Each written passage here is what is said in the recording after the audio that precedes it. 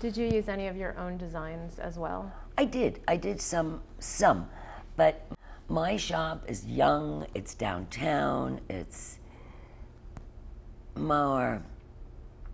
It's not an uptown, you know, thirty-year-old stop. It's younger. It's ki- college kids. It's it's art, very artistic and uh, expressive.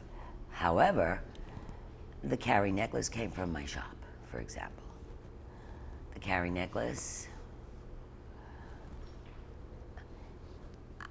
you know, for me, it was in my life. The kids from the boroughs, they come to my shop.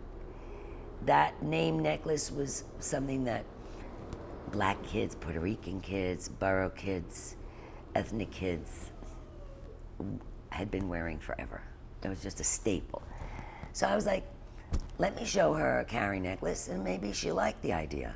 And I had one made up with her name and she liked it. After all, it was a piece of New York, a real piece of New York. And it wasn't just Manhattan, it was from outside Manhattan, from the other parts of New York where the people lived.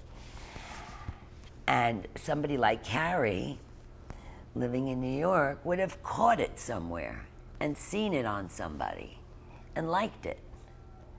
So it had that reason for being.